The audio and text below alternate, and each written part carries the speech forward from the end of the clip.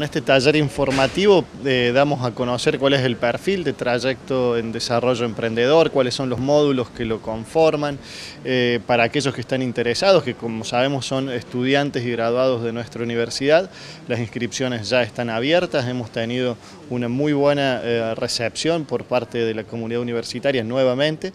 El año pasado ya dictamos este primer módulo que es el único que genera correlatividad con el resto, digamos, ¿no? haciendo el módulo 1 pueden hacer cualquiera de los otros eh, módulos que conforman al, trayecto. Eh, en, este, en, esto, en este par de días ya tenemos más de 50 eh, inscriptos para el primer módulo del trayecto en desarrollo emprendedor.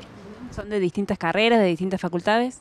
Siempre, igual que el año pasado, tenemos presencia de las, de las cinco facultades, sean estudiantes que graduados, con perfiles muy diferentes, que justamente lo que atiende este trayecto, digamos, ¿no? que sea heterogéneo y eh, involucrando a todos aquellos que quieran llevar adelante emprendimientos de distintos perfiles, considerando distintas eh, dimensiones, además de la económica, la cultural, la social, la ambiental, de un modo que se puedan eh, atender de, manera integral lo que significa ser emprendedor y, tener y llevar adelante un emprendimiento. ¿El dictado de este módulo cuándo comenzará?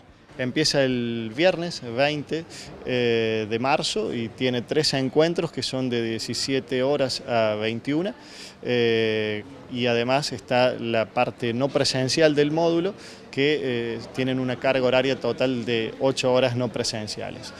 Todos los módulos que componen el trayecto son de 20 horas, con tres encuentros eh, presenciales de 4 horas y 8 eh, horas no presenciales.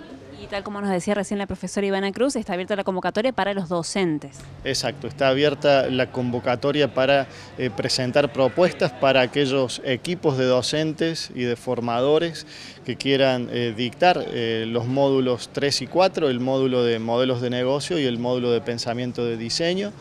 Eh, están abiertos eh, a, través de un link de inscripción online eh, que va a estar disponible a partir del día de mañana, 12 de marzo, y durante cinco días hábiles, que va a terminar entonces el día 18 de marzo incluido.